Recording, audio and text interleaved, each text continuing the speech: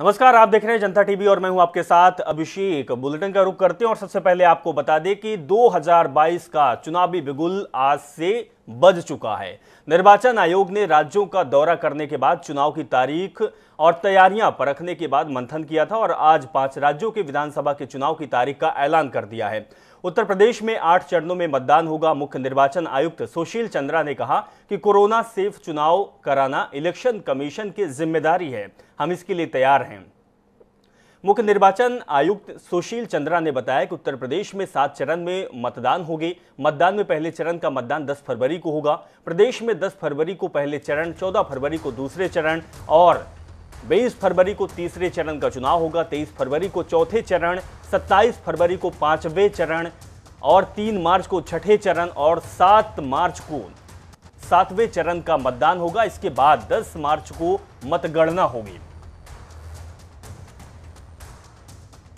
तो यूपी में सात चरण में चुनाव होगी 10 फरवरी से चुनाव होगा और सात मार्च तक होगा। इसके बाद जो सभी पाँच राज्य हैं, उसके साथ उत्तर प्रदेश के भी 10 मार्च को चुनावों की जो मतगणना होगी, उसकी गिनती होगी और इसके बाद तय हो जाएगा कि उत्तर प्रदेश में किसकी अब सरकार है। तो 10 मार्च तक अब लोगों को इंतज़ार करना होगा और 10 फरवरी से मतदान चालू हो जाएगा। पहले चरण का मतदान उत्तर प्रदेश में 10 फरवरी को होगा और सातवें और आखिरी चरण का मतदान 7 मार्च को होगा।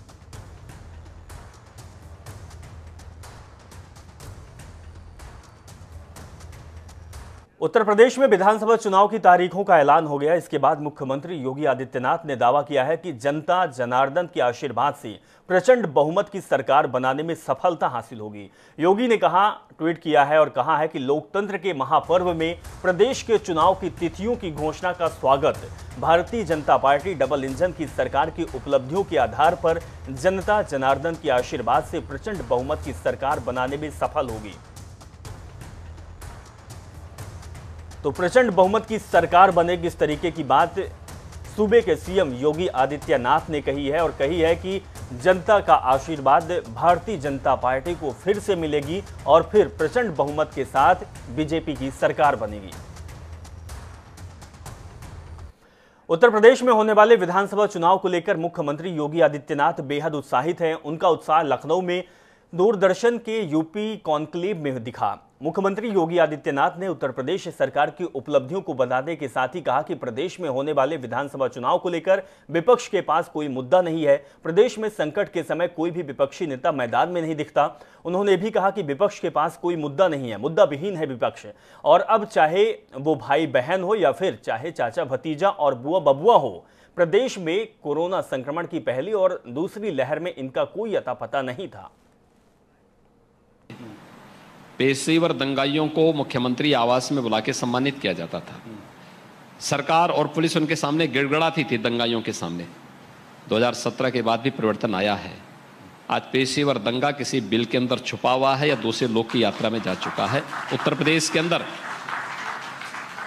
खोल करके, सिर उठा करके दंगा करके चलने का तो साहस नहीं कर सकता। है 2017 के पहले, प्रदेश के अंदर आतंकवादी, जहाँ मर्ज़ी वहाँ विस्फोट कर लेते थे। 2017 के बाद एक भी विस्फोट नहीं हुआ। एक भी दंगा नहीं हुआ। ये फ़र्क साफ़ है। 2017 के पहले प्रदेश की बेटियाँ असुरक्षित थी। वे स्कूल नहीं जा पाती थी। बहुत सारे परिवार ऐसे थे जो अपनी बेटियों को उत्तर प्रदेश में एडमिशन स्कूल और कॉलेजेस में करवाने के बजाय उत्तर प्रदेश के बाहर करवाती थी, अपने दूर के रिश्तेदार के यहाँ भेजती थी। 2017 के बाद ये परिवर्तन साफ़ आया है कि उत्तर प्रदेश की बेटी उत्तर प्रदेश के अंदर है। उत्तर प्रदेश में विधानसभा चुनाव का बिगुल बच चुका है, जिसके बाद राज्य में आदर्श आचार संहिता लागू हो गई है। इस दौरान सरकारी मशीनरी चुनाव आयोग के नियंत्रण में रहेगी। मतदान और मतगणना के बाद नतीजों की आधिकारिक घोषणा के साथ ही आचार संहिता हटा दी जाएगी। तो उत्तर प्रदेश में आचार संहिता लगते ही जिलों में लगे होर्डिंग्स, पोस्टर और बैनरों को नगर निगम की ओर से हटाना चालू हो गया है। आपको बता दें कि चुनाव आचार संहिता लागू होने के बाद कई नियम भी लागू हो सकते हैं। इनकी अवहेलना कोई भी राजनीतिक दल या नेता नहीं कर सकता। इसके तहत सरकारी धन का इस्तेमाल किसी विशेष राजनीतिक दल या नेता को फ़ायदा पहुँचाने वाले काम के लिए नहीं होगा। इसमें सरकारी विमान या सरकारी बंगले का इस्तेमाल भी चुनाव प्रचार के लिए उपयोग नहीं हुआ, होगा।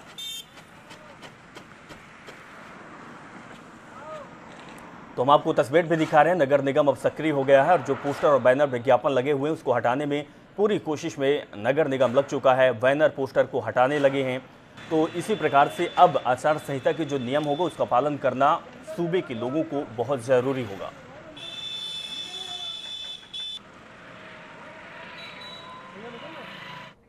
हमारे साथ जनता टीवी के स्टेट हेड अनिल के अंकुर जी जुड़े हैं। उनके पास चलते हैं। अनिल के अंकुर जी अगर कहा जाए कि 2022 विधानसभा उत्तर प्रदेश का चुनाव सबसे बड़ा चुनाव कहा जाता है। यहाँ से रास्ता दिल्ली का तय होता है। चुनाव की बिगुल बज चुकी है।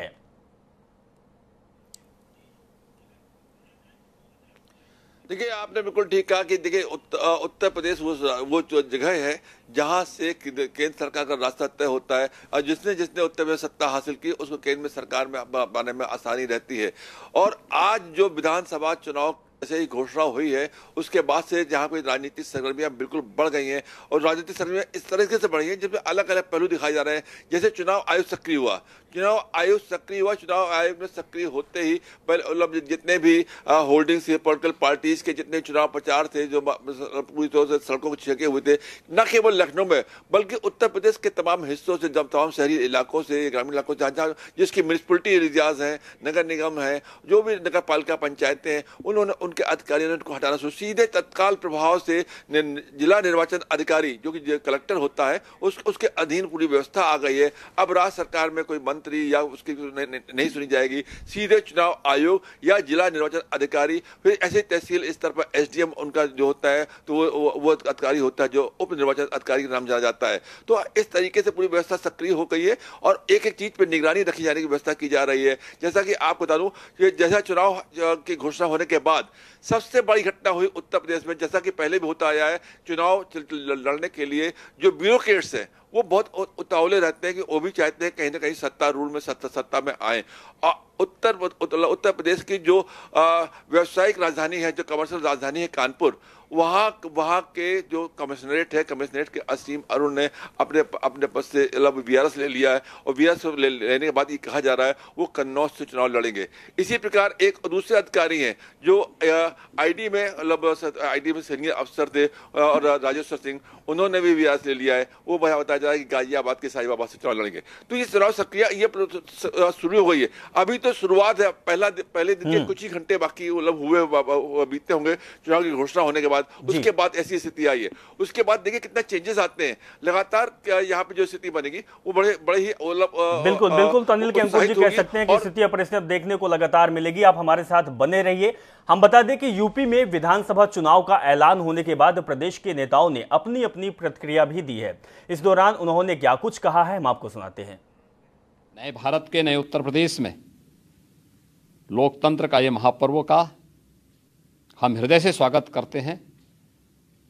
10 मार्च 2022 को जब उत्तर प्रदेश विधानसभा चुनाव के परिणाम आएँगे तो भारतीय जनता पार्टी प्रचंड बहुमत के साथ जनता जनार्दन का आशीर्वाद प्राप्त करने में सफल होगी। इसमें कोई संदेह नहीं होना चाहिए। हाँ कोरोना महामारी के दौरान सतर्कता और सावधानी हम ज़रूर रखें और प्रचंड बहुमत के साथ भारतीय जनता पार्टी की सरकार उत्तर प्रदेश के अंदर पुनः बनेगी, ये मुझे पूरा विश्वास है। देखिए, भारतीय जनता पार्टी चुनाव की घोषणा का स्वागत करती है। यह चुनाव की प्रतीक्षा प्रदेश की जनता को भी थी, भाजपा को भी थी, भाजपा के एक कार्यकर्ता को भी थी, हर राजनीतिक दल से जो भी जुड़ा हुआ है उसको भी थी। आज चुनाव आयोग ने तिथियों की घोषणा कर दी है। सात मार्च को अंतिम चरण का मतदान संपन्न हो जाएगा और दस मार्च को वोटों की गिनती हो जाएगी। और दस मार्च को मैं मानता हूँ कि ग्यारह बजे तक चूँकि आजकल ईवीएम से चूँकि मतदान होता है तो ग्यारह बजे तक पूरा संकेत लगभग आ जाता है। तो 10 मार्च को ग्यारह बजे समाजवादी पार्टी का जनता बारह बजा देगी और फिर से कमल खिला देगी। फिर से गुंडागर्दी, दंगा, ज़मीन पर कब्जा, मकान पर कब्जा, दुकान पे कब्जा, विकास कार्यों में भ्रष्टाचार, इस पे लगाम सदा सदा के लिए लगा देगी। भारतीय जनता पार्टी के कार्यकर्ता अपने लिए हम सब काम नहीं करते हैं। इस राष्ट्र के लिए करते हैं और गरीब के कल्याण के लिए करते हैं। जो पंडित दीनदयाल उपाध्याय ने सोच दिया है, जो विचार दिया है, उस विचार को लेकर हम लोग चलते हैं। छोटी मोटी बातों में हम लोग नहीं पढ़ते हैं। कभी नहीं पढ़ते हैं, न जातिवाद, न क्षेत्रवाद, न व्यक्तिवाद, न परिवारवाद, न वंशवाद। केवल राष्ट्रवाद हम लोग देखते हैं। राष्ट्र का सम्मान और देश का सम्मान और एक गरीब का कल्याण कैसे होगा, गरीब खुशहाल कैसे होगा, उसके लिए परिश्रम की पराकाष्ठा करते स्वागत करता हूँ मैं तिथियों का। भाजपा की दो कोशिशें थी, चुनाव टले, वो नहीं टला। दूसरी कोशिश थी, चुनाव पूरब से शुरू हो उत्तर प्रदेश में, चुनाव आयोग ने नहीं माना। पश्चिम में इनकी बहुत बुरी हालत है। मोदी जी और अमित शाह ने बंगाल और बिहार में ही बीमारी बढ़ाई थी। मुझे उम्मीद है कड़ाई से अगर प्रतिबंध लागू होंगे तो यहाँ कम से कम ये बच बेरोजगारी चरम पर है नौजवान अपनी मुठ्ठियाँ भींचकर सड़क पर आ गया है भाजपा के खिलाफ। सात से मौतें जो किसानों की हुई हैं वो भारतीय जनता पार्टी पर भारी पड़ेंगी। मतलब उत्तर प्रदेश में भाजपा की गवर्नमेंट नहीं बनने वाली। मैं दावे से कह रहा हूँ गवर्नमेंट तो छोड़ दीजिए इस सैकड़े की संख्या नहीं पार करेंगे। आज ही का तो इंतज़ार था। आज दिखेगा सरकारी कर्मचारी और अधिकारी जो इनके इशारे पर काम कर रहे थे, उन्हें मालूम है आने वाली सरकार इनकी नहीं है तो अब इनके गलत आदेश नहीं माने जाएँगे।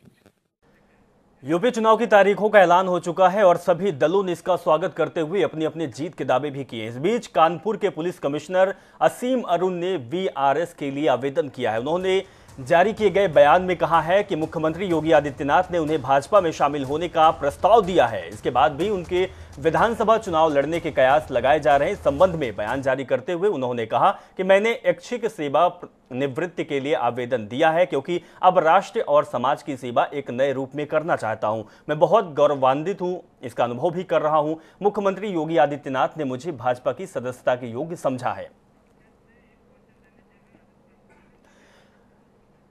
अनिल के अंकुर जी हमारे साथ जुड़े हुए स्टेट हेड हमारे। अनिल के अंकुर जी, अब सिलसिला ये भी शुरू हो चुका है कि जो प्रशासनिक अधिकारी थे, अब वो भी चुनाव लड़ना चाहते थे, जो आप पहले भी कह रहे थे।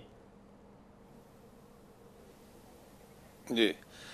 देखिए सबसे बड़ी बात है कि देखिए प्रशासनिक अधिकारी की सबसे बड़ी एक आ, आ, होती सोच होती है कि वो सत्ता के चरम पे पहुँचे। सत्ता के चरम पे पहुँचने के लिए वो कोई भी हथकल्ला तरीके को अपनाने को हमेशा तैयार रहते हैं क्योंकि एक पुराना फार्मूला है कलीग्स नेवर बी फ्रेंड। तो कलीग्स नेवर बी फ्रेंड जब फार्मूला है तो जब अगर उस अगर वो अधिकारी अपनी पोस्ट पर रहेंगे तो उनके जो सबॉर्डिनेट उनके साथी हैं जो उनके साथ के उनके बैचमेट हैं कहीं ना कहीं से उनके प्रतिद्वंदी रहेंगे।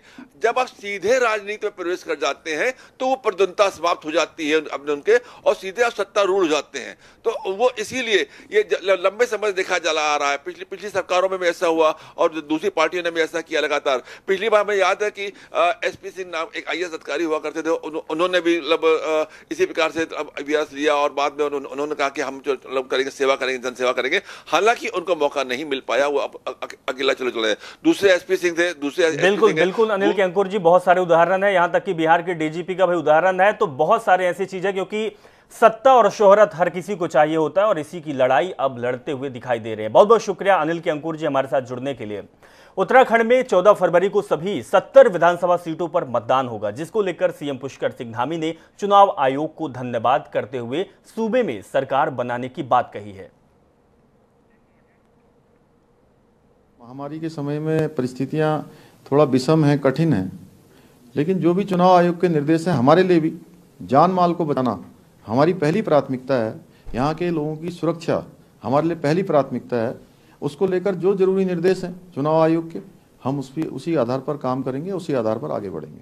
देखिए, निश्चित रूप से इस बार बीजेपी आगे बढ़ेगी और हमने जो नारा दिया है, अब की बार साठ पार।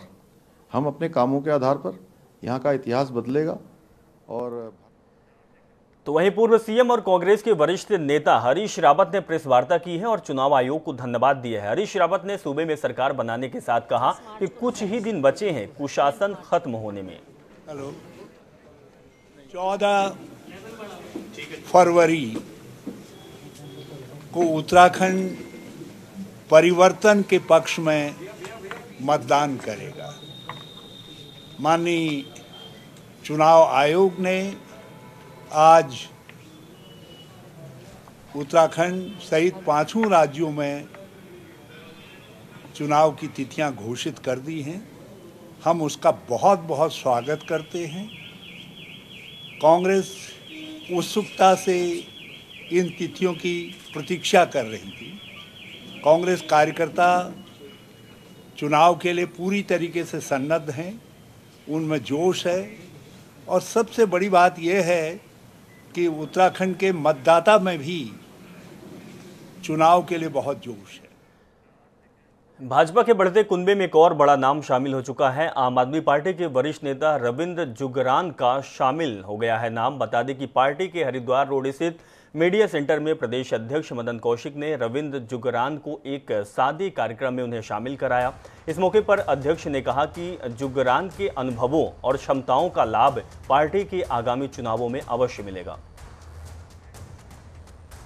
चौदह फरवरी को चुनाव की तारीख निश्चित कर दी गई है। कोड ऑफ़ कंडक्ट आज से लागू हो गया है। पार्टी चुनाव आयोग के दिशा निर्देशों के अनुरूप अब आगे बढ़ेगी और हम लोगों ने पिछले छः महीने से चुनाव में एक व्रत तैयारी की है। बूथ और पन्ना प्रमुख स्तर तक हमारा एक कार्यकर्ता खड़ा है। तो निश्चित रूप से हम चुनाव आयोग की गाइडलाइन के अनुसार काम करेंगे। 2017 से बड़ी विजय प्राप्त होगी। उत्तराखंड में विधानसभा चुनाव का ऐलान हो गया है। 14 फरवरी को उत्तराखंड में मतदान होगा। मतदान की तारीखों का ऐलान होने के बाद सियासी हलचल भी बढ़ गई है। कांग्रेस के वरिष्ठ नेता और पूर्व कैबिनेट मंत्री यशपाल आर्य और भाजपा नेता, केंद्रीय राज्य मंत्री अजय भट्ट ने चुनाव को लेकर अपनी प्रतिक्रिया दी है। सुनिए। डर भय का वातावरण दिख रहा है तो साफ़ ज़ाहिर है कि कांग्रेस की मज़बूत स्थिति है उत्तराखंड में। जनता ने परिवर्तन का मन बनाया है और जिस तरह का मैंने देख रहा हूँ, माहौल है, वातावरण है और जितनी जहाँ जहाँ मुझे जाने का रैलियों में शामिल होने का मौका मिला है। जिस दिन हम चुनाव जीतते हैं, उसी दिन से हमारा अगले चुनाव की तैयारी लगती है सेवा करते हुए। हम जनता की सेवा करते हैं। वोट जनता अपने स्नेह प्रेम के साथ देती है और जिस तरह अभी हमने जो यात्रा निकाली थी विजय संकल्प यात्रा, जो सैलाब जन सैलाब उमड़ के जनता का आया है, उससे साफ़ हो गया है कि उत्तराखंड में भारी बहुमत से भारतीय जनता पार्टी पुनः आ रही। चलिए इस खबर के साथ फ़िलहाल इस बुलेटिन में बस इतना ही और खबरों के लिए आप देखते रहें जनता टीवी। नमस्कार।